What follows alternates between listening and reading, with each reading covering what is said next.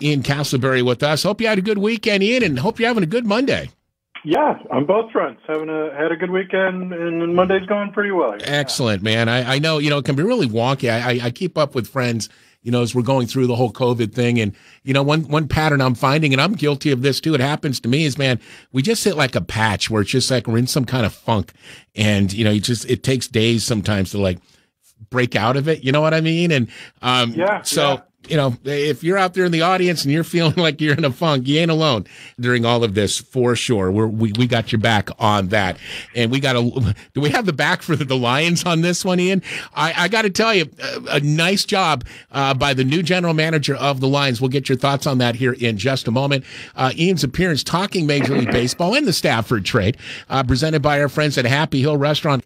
Um, all right, so before we get into the old serious uh, baseball headline discussions here, Ian, I got to get the take in your take on your Lions uh, dealing Stafford to the Rams, and, and, again, not a bad first uh, deal for your team's new GM who came from the Rams, and but sadly, it's kind of up the ante on the Deshaun Watson sweepstakes, which is not good news necessarily for Panthers fans. But how did you like this deal? At first, I did not like it because getting Jared Goff and his massive contract scared me. But uh, upon studying the contract a little more, the Lions can get out of it without paying any guaranteed money after two years. So really, it's just it's a, it's a really tough salary cap crunch for 2021, 2022, not so bad. But I mean, they need a quarterback, so they have one for at least two years. I think it also takes the pressure off of the Lions to possibly draft a quarterback this year, especially with the number seven overall pick. If if it turns out you know they don't like Justin Fields or Trey Lance, whoever might drop to them in that spot, but they got two first round picks, and that that is the prize. That is great. I wish one of them was for this year. The Rams don't have a first round draft pick this year because they traded it in the Jalen Ramsey deal. The Rams don't like first round draft picks, apparently. They're no. going to go, I think, seven, eight years without having a first round pick, but they get the, the two first round picks. They have a quarterback for at least two years, maybe more. If you read Peter King's uh, NBC Sports column, the Lions are high on, on Jared Goff as a quarterback, which shouldn't be a surprise. Brad Holmes, the Lions' new general manager, came right. from the Rams and had a lot to do with scouting Jared Goff in the process before the Rams made him the number one overall pick. But it also kind of warms my Lions fan heart a little bit that a star player left the Lions and it wasn't a really tense, bad situation like it was with Barry Sanders and, and Calvin Johnson. Uh, you know, they, they did uh, Stafford a solid here. The Rams are the team he wanted to go to. So they traded him there. There are reports that maybe the Washington football team had a better offer, also offering two first round picks but the Lions really wanted a quarterback in a deal.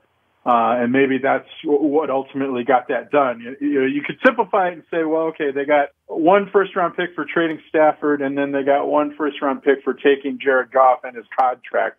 Um, I, I think that's that's a pretty good deal. And like you said, really, uh, I think a, a, very solid deal, maybe even a great deal for the Lions' new general manager, Brad Holmes. Yeah, man. Of course, again, driving up the uh, Deshaun Watson uh, price uh, as well. That was, a, I got to admit, I'm being selfish with the Panthers going after Deshaun Watson. I'm like, oh, crap. Sure. That's not going to help things. All right, let's let's get to baseball. We got some uh, really good topics to get to, including just chatting with Chris Smith, you know, who had uh, Nolan Arenado the uh, Asheville Tourists before, of course, uh, he made his way to the Colorado Rockies. But the Cardinals looked, uh, they're going to be acquiring Nolan Arenado from the Rockies. And Ian, it looks like the Cards are giving up some prospects while picking up, uh, you know, a huge salary. Although Colorado is going to pay some of Nolan's uh, salary. But they get, you know, the be- one of the best players in baseball. So, Ian, I love this deal for Arenado now he's going to thrive, and I think perhaps even raise his game like McGwire did before him when he went to St. Louis. Where does this move put the Cardinals in a very competitive National League Central division? Yeah, I think. Well, first of all, the Cardinals seem to be the only NL Central team that is interested in winning this season. Let's go. You know, the Cubs are yeah. in kind of a the Cubs are in kind of a, a tear down there. You know, the Cincinnati Reds uh, apparently decided they're. Uh, rebuild project or their youth movement uh, wasn't going according to plan. The Pirates are just tearing it down to the studs. The Brewers aren't doing well. So the Cardinals were in a good position anyway. it is comparable, I think, to when in the past they've gotten players like Mark McGwire, Jim Edmonds, Jason Heyward. Jason Heyward didn't stay, but the, the thought was, you know, that these players they come, they they they learn the St. Louis organization, how they do things, the great fan base that they have there, and you know they decide they want to stay there. Nolan Arenado is already uh, under contract, though he can opt out of it. When he can opt out of it is something I believe that is still being negotiated under the terms of the original deal, he could opt out after the 2021 season. So if that's the case, you know, then the Cardinals have basically one year to to kind of get Nolan Arenado to fall in love with St. Louis uh, and playing for the Cardinals. But they get one of the best defensive third basemen in baseball. He should hit number three, number four in the lineup. You know, him and Paul Goldschmidt. That that is an excellent middle of the order. They they can use other players now. They can move guys like Matt Carpenter maybe kind of make him a super utility guy, play him, you know, at first or second or third, uh, wherever he needs to to play. And I think Arenado, you, you know, you never know, but I think he's going to be energized by playing for a contender. I think right. constantly playing for a losing team in Colorado and not really being sure of what the plan was. You know, are they trying to contend? Or are they trying to rebuild? I think it, it kind of weighed on Arenado, and he got sick of the whole routine there. We had some fun over lunch. Uh, me and a friend, we were doing a Google image search of Nolan Arenado, looking for something we could use for an article, and he looks sad in all these pictures. He's not smiling in any of them. Now, maybe he's just a really intense guy on the field, but you could also say, geez, he looks like a guy who's not enjoying playing for the Colorado Rockies. And uh, that should presumably change playing for the St. Louis Cardinals.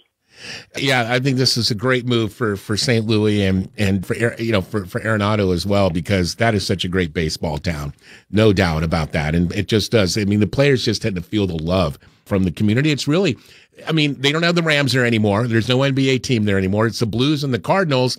And most years, it, it, it's a Cardinals town for sure. All right, uh, Ian Casselberry playing with the Wise Guys on the DC Kriesman Jewelers Wise Lines. And of course, it is our Major League Baseball update for this Monday, presented by our friends at Happy Hill Restaurant, Patton Avenue, across from Groce Funeral Home. Uh, the Phillies re signed shortstop Didi Gregorius to a two year, $28 million deal. I think he came to the team last year from the Yankees. That's a lot of money, but is it money well spent, in your opinion, there, Ian? I think it is. Uh, 28 million does seem like a lot, but if you look at what some of the other free agent shortstops got, uh, Marcus Semien signed for 18 million dollars. Andrelton Simmons signed with the Twins for less, but Simmons isn't as good a hitter as Gregorius or Semien. So the Phillies needed a shortstop. They really didn't have anybody else to play that position. With Dave Dombrowski uh, taking over as, as team president, Joe Girardi hired the year before as manager. I think there is some thought that they can contend in what is going to be a very tough National League East. You know, we joked about the the Cardinals being the only team looks like they're trying to win in the NL Central.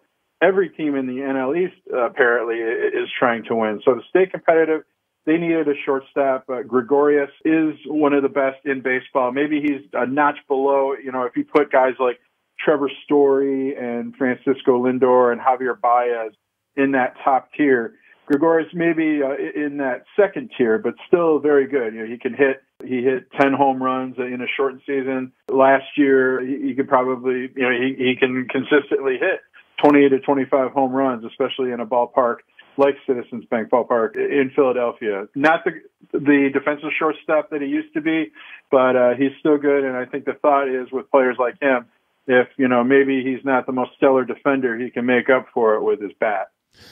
Yeah, you know, you're right. I mean, Philadelphia, I was wondering that too. I'm like, all right, the Phillies now making a move. The Braves, you know, obviously the defending division champions. You know, the Mets are making some moves. They have a new own, you know, new ownership. So yeah, no one's sitting still in, in the uh, National League East for sure. Uh, Ian, any other uh, signings of note as spring training is just around the corner? We we think more on that in a moment. It seems to have frozen again. I mean, we, we had this big. Maybe now that this Nolan Arenado deal has been done, uh, that will kind of uh, loosen up the market a little bit, and, and, and George Springer signing with the Blue Jays last week. But Trevor Bauer, the top free agent pitcher, is still out there. There are still names like Justin Turner hasn't signed with anyone. Marcell Ozuna, is he going to return to the Braves or will he sign elsewhere? One guy I really like, I wish my Tigers would sign him, Jackie Bradley Jr. I know that's not going to happen, but he's still out there. Yasiel Puig, where is he going to end up uh, after uh, striking out with the Braves? Last season. And there's still there's some good pitchers out there too. Chris Archer, Jake Arrieta, Mike Foltynewicz. Uh, so still still some pretty big names uh, that have not signed yet, and that might be a reason for uh, one of the stories that we're uh, talking about, like when exactly spring training might begin. Speaking of, there, there seems to be um, a little back and forth between the owners and the players on the start of spring training. Ian, just to refresh, when is spring training slated to begin? I know pitchers and catchers will report first, but is it going to be on schedule, do you think?